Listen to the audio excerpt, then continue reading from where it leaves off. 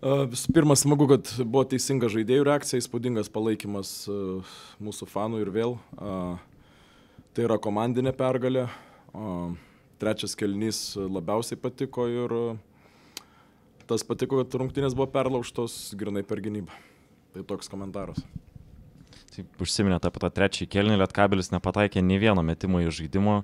Kur galbūt labiausiai jaučiate postumį į priekį toj gynyboje, nes buvo ir sėkmingos maž... rungtynės su mažiekiais, kai tik 54 taškus praleidot, kur galbūt palipėjo komandai viršų šitam žaidimo aspekte? Mm, jo, mes lipam po truputį viršų ir, ir gal tos rungtynės išimtis buvo prancūzijai, neprisitaikėm prie to, prie to kontakto lygio. Džiaugiamės, kad geresnių rungtynių dabar bus daugiau ir daugiau, tai jaunai komandai tas uh, tas reiškia, kad augimas bus dar greitesnis, labai to tikimės ir, ir ne, kaip ir sakau, žaidėjai labai teisingai sureagavo po, po paskutinių rungtynių ir atsinešė tą energiją ir tą fiziškumą į šitas rungtynės. Tai e, pirmoji rungtynių pusėje nemažai taškų praleidom, bet e, tikrai laikė, laikėm lietkabelį kovoje vien dėl e, polime atkovotų kamolių arba kažkur mes patys ne, nekontroliavom emocijų, kažkur biškius teisėjais pasiginčiam, kažkur negryžom į gynybą arba, arba tiesiog e, neteisingos pagalbos būdavo iš pausto, iš pick and rollo, padėdavom nuo negeriausių metikų, tai dėl to jie laikėsi žaidimą, o išėję antrojo rungtinių pusėje žaidėjai, žaidėjai parodė tikrą tą savo veidą, ką, ką mes galim toj gynyboje ir, ir smagu, kad e, būtent per gynybą perlaužėm rungtynės. Paulius Valinskas per pirmą pusę surinko 9 taškus ir 5 rezultatyvius perdavimus, bet su tokia statistika ir baigė rungtynės. Ar matant Lietkabelį, ar tai yra esminis tas žmogus šiemet, kurį, kurį reikėjo išjungti? E, visų pirma, tai turiu daug kredito atiduoti RJ Cole, nes jisai iš vis jį išjungė iš rungtynių, surakino, pasėmė ant savęs.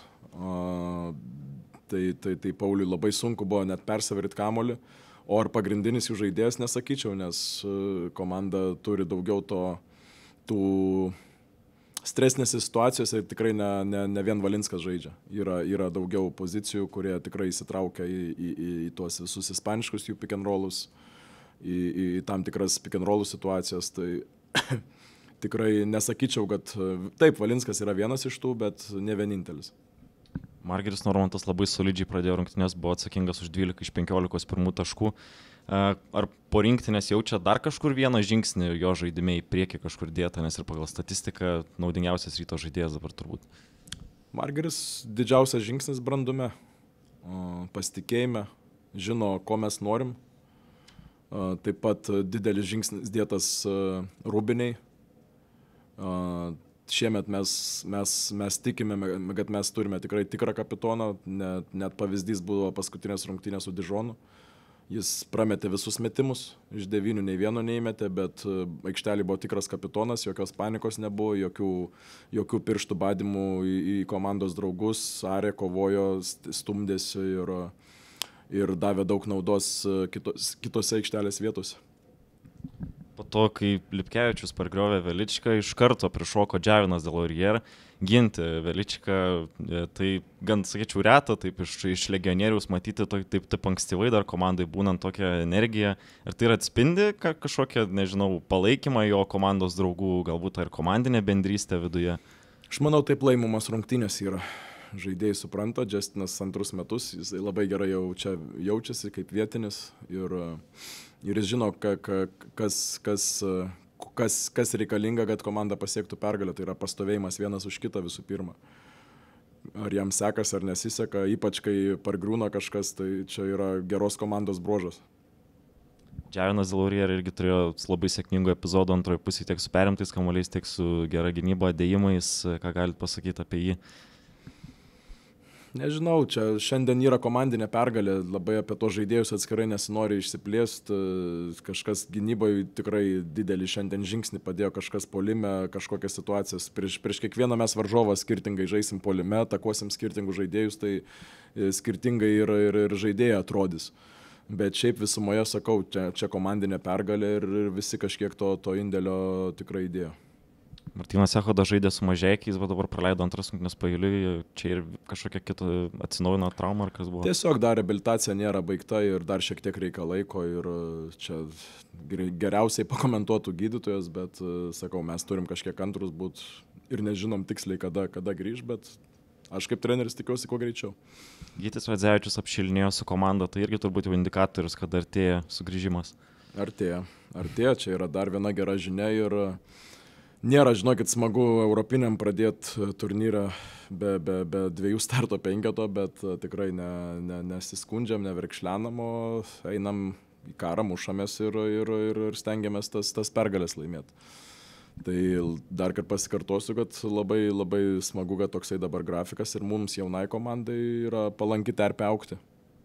Jeep arena šiandien sausakimša, išparduoti visi biletai ir nebus šiek tiek gaila prarasti jau žengiant tas europinės kovas ir vėliau su Žalgiriu Vuls prarasti šitą nuostabią atmosferą su fanais ir perėti jau tą didesnę erdvę, kur galbūt tas palaikymas ir gali būti šiek tiek silpnesnis. Manau, kad šiandien girdėjau, kad labai daug kas norėjo patekti, nepateko ir manau, kad palaikymas jis nebus silpnesnis uh, mm, arenoje, didesnėje. Bet aišku, aš taip pat sutinku, kad ir, ir sutinku, kad nuo mūsų priklausys rezultatų turbūt didžiaja dalimi. Stengsimės griūti, arti ir, ir, ir taip toliau. Manau, mūsų šitie lojalūs fanai, jie būtent tai ir vertina labiausiai. Tai nėra apie pergalę ar, apie, ar pralaimėjimą. Tikrai gerai supranta krepšinį mūsų fanai ir, ir manau, kad matydami tokią komandą, kaip buvo šiandien, jie, jie tikrai rinksis gausiai uh, uh, ir į For sure, we are better team that we show today, so we have to be more precise. Especially, we came very bad on third quarter out, so uh, lost physically and uh, mentally. So we have to be stronger. You mentioned that third quarter, Letkabelis didn't score a single field goal in that third quarter. What uh, went wrong for you guys in that period? We stop sharing ball, be aggressive on penetrations and pass, uh, but uh, I think we lost seven, eight offensive rebounds. Know. After that, uh, when opponent scores, uh, always you have to play five on five. You know, a little bit harder, but uh, anyway, you know, we have to find open men on offense for sure. Paulius Valinskas in the first half he had nine points and five assists, but finished the game with the same numbers: nine points, five assists. How much the team is dependent on Paulius, and uh, how much it depends on you, on on the on your team's game? No, I think you know we we expect for main players to play solid and do you know help others to be better. You know, for for me, good player is who makes others better. So.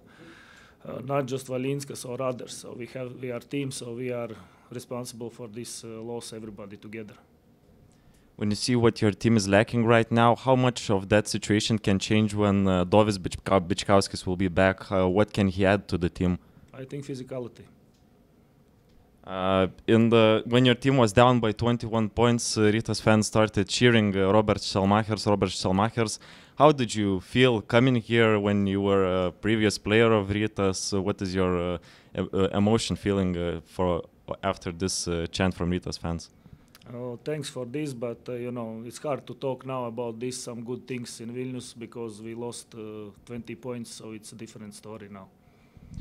Nikola Popovic has some uh, good uh, period of periods in the game. Uh, let's say for three, four minutes, but has I would say problems with his conditioning. He he gets tired very quickly. Uh, is that uh, the next step he could take in his career to to be uh, more efficient when he's longer on the court? Uh, of course, and uh, right decisions on offense, on defense, it would help for him to be more on the court. You know, I think he's physically enough good, so it's not just three minutes. Okay, it's maybe looks, but of course we are expecting from him a little bit more. David Sirvidis missed the second game in a row. Uh, what has happened to him, and when could you when he could be back? So we are watching this uh, day by day, and it's hard to say when he will be back. So we are just wish him uh, good health and come quicker back. We need him. Coach, it's probably hard to talk right now after after this loss, but as you remember as a player, has the atmosphere in this arena changed somehow? Looking right now after this game. No, I think no, no, it's great atmosphere. You know, it's very nice to play everywhere, of course, especially in uh, Vilnius on this situation when I was player. So thanks for this time for fans, but uh, generally always is nice to play in good atmosphere. So we are we prepared for that. We knew that will be nice, and everything is sold out. So we want to show the best what we can, but uh, didn't do today. So sorry for that.